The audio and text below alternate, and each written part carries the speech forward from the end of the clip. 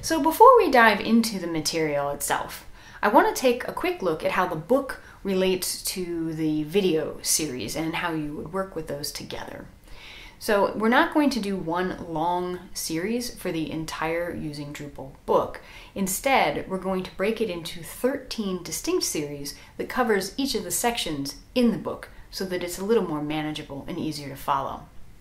So in this particular lesson, we're just going to be looking at how does the book relate to the video series.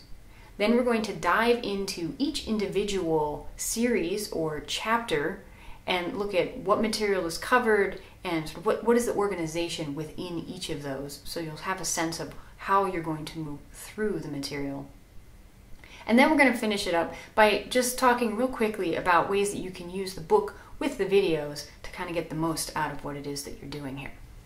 So let's go ahead and get ourselves organized. In terms of how the book chapters will be turned into videos, each chapter in the book is going to become its own series, and then you can go through the series in the same order as you would in the book, or just like you can in the book, you could hop around um, to whatever chapter it is that you're most interested in. So, in terms of which chapters will actually be covered, um, this introduction to the using Drupal series is essentially covering the information that is in the preface uh, in the book. And then we're going to do all of the chapters, one through nine, uh, on the different case studies. And then we will be doing um, the appendices um, A, B, and D. You'll notice that C is not listed there. C is just a listing of the contributed modules that are used throughout the book, and we'll be covering that at the beginning of each series individually, and so there's no need to create a video series uh, that's basically just telling you the modules that we're using. So we won't be doing Appendix C in the book, but everything else from the preface through Appendix D will be done, and each of those will be its own series of videos. So aside from uh, the, the preface and the appendices, which, which cover their specific uh, information, each of the main chapters, 1 through 9, are broken down in a similar way in each chapter to cover the material.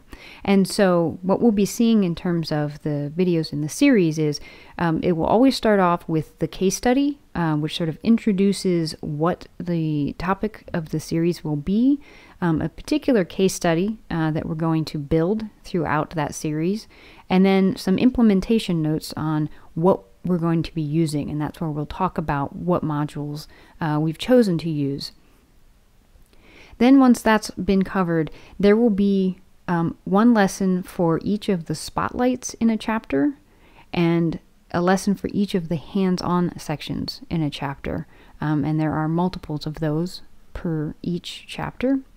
And then it wraps up with taking it further section, which um, looks at other things that you could do to extend the work that we've done within that actual chapter. Um, so, other things that you can go play with um, and build on from what you've learned so far. And then, of course, we'll wrap it all up with a summary to look at our original case study and how we have built that site uh, using the tools that we've chosen for that particular chapter. If we take a look at uh, the index for using Drupal, so this is the PDF version of the book that I have open here, and you can see uh, over on the left hand side, I'm looking at the table of contents right now. Um, and as I've said, the preface, all of the chapters 1 through 9, Appendix A, B, and D will each be their own series. So it's broken down just like it is in the book.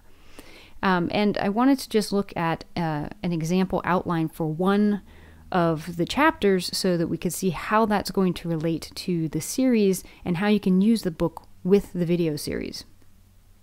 So I'm looking at uh, chapter 7 here, which is managing publishing workflows and uh, works with Workbench. Um, and as you can see, we have the case study, uh, and then we have various spotlights. So there's taxonomy, Path Auto, Workbench, where we dive into what those modules or features are and why we're making the choices that we're making about how to implement them. And then we have various hands on sections that follow after the spotlights, sometimes more than one per spotlight, that show you how to actually do it, and that's where we actually build things together as we walk through the tutorials. Uh, and then we have taking it further. Uh, not all chapters have taking it further, but most of them do. And then a summary over what we've done. So in the series, each of these will be an individual video in the series. So if you as you're going through the book, if you get stuck on something, you could always come and watch just that video. It'll be very easy to line up where you are in the book with videos that are within a particular series. So that's how we're going to organize things. We're going to start at the beginning and work our way to the end.